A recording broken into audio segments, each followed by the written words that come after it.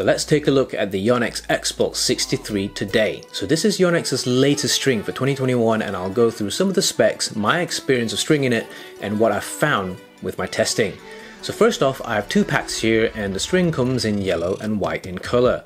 You can obviously spot that Yonex has rebranded its Repulsion series as Quick Repulsion. So on the packaging side of things, Yonex has updated its individual sets of string and it features an environmentally friendly logo on the back saying it's used some bio-based materials.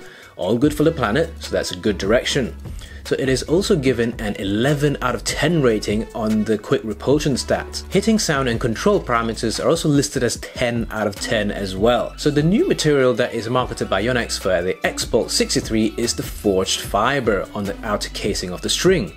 So it claims to produce amazing sound alongside amazing drives at the same time. So for testing, I strung it on my usual racket, the Arcsaber 10 at 27 pounds tension on the main and 29 pounds tension on the cross to make what I designate as 28 pounds tension. So upon opening the string pack, the initial feelings of the string are quite matte and dry.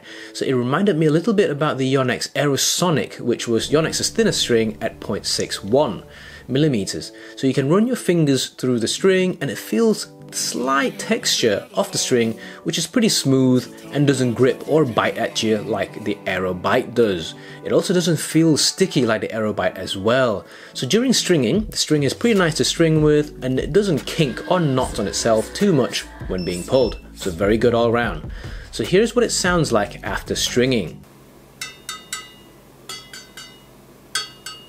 So to make sure I get a pretty consistent test, my other rackets were strung with 66 Ultimax at the same tensions alongside the Astrox 88 S&D Pro Models 2. So that video is coming up next, so make sure you subscribe to find out when it's published.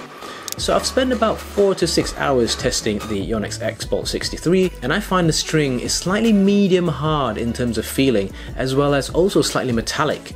Feeling wise, I think the Exbolt 63 is definitely in between the 66 Ultimax and the Nanogy 98 for me. It reminded me of the Nanogy 98 which was my favourite string for many many years. So when I came back and had a look at the string matrix, I was surprised to find Yonex classifying the 66 Ultimax with the Nanogy 98 in identical terms in terms of feeling. So I disagreed with Yonex's classification because I certainly would put the Nanogy 98 slightly higher up above the Exbolt 63, perhaps in line with Aerobite or Exbolt 63, being harder than the 66 Ultimax, which is correct in this case. So performance wise, the Exbolt 63 is certainly very repulsive. So I meant that in a good way in this case. So anything that is caught with good timing in the sweet spot will just scream off the racket with a lot of pace. So you can actually also hear the strings have a pretty clean but slightly stiffer sound compared to the 66 Ultimax.